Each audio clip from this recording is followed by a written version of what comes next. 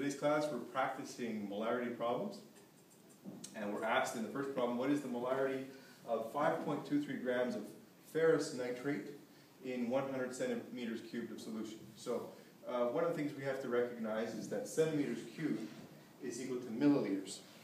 We can, in fact, they're, they're interchangeable units of measure, centimeters cubed and milliliters.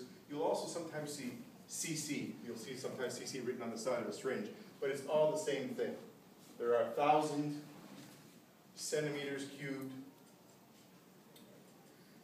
and there are 1,000 mLs, there are 1,000 cc's in one liter.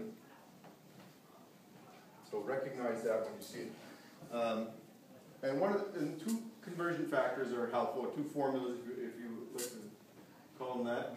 Um, one is that the molarity times the volume of the solution gives you the number of moles of solute.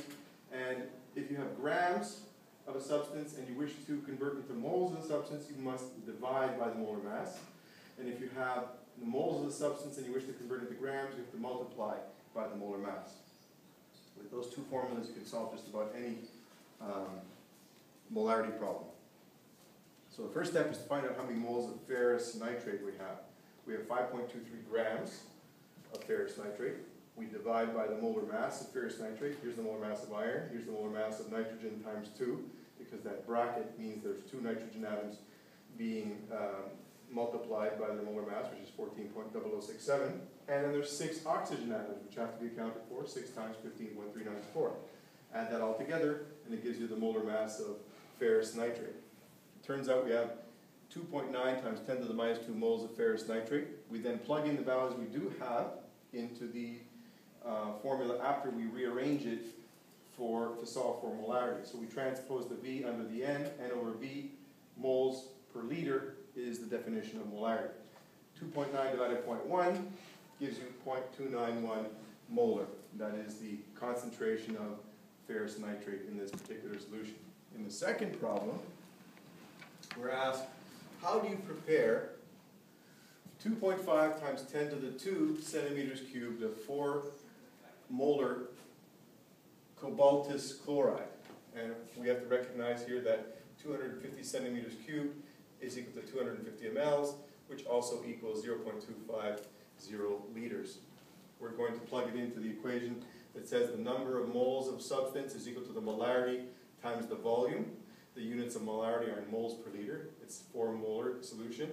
There's 250 one thousandths of a liter, or 0.25 of a liter. Liters will cancel, and we're left with an answer in moles. You need one mole of cobaltous chloride to prepare a solution that is 4 molar and that you only have one quarter liter of it. We then find out how much one mole of cobaltous chloride weighs. Here's the mass of cobalt. There's the mass of chlorine times 2. And it turns out to 129.8392 in the calculator. We're only allowed to report the three level, uh, three significant figures. So we say 130 grams of uh, cobaltous chloride needs to be dissolved and diluted with water to 250 mLs.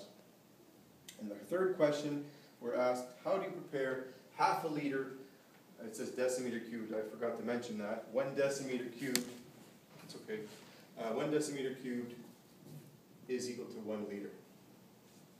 Yeah, that's good to know. Um, so half, half a liter, uh, half of a decimeter cube is the same as half a liter. Uh, we cross up the liters when we enter the values into the formula. 1.5 times 0.5, we need 0.750 moles of silver fluoride. Here's the mass of silver. Here's the, the molar mass of fluorine. That's its molar mass, 126 grams per mole. We need 0.75 moles, so we multiply the two quantities together, together to find out how many grams of silver fluoride are needed. And it turns out to be that many grams. Again, we reported the three significant figures, and we say dissolve 95.1 grams of silver fluoride in water and dilute to 500 ml.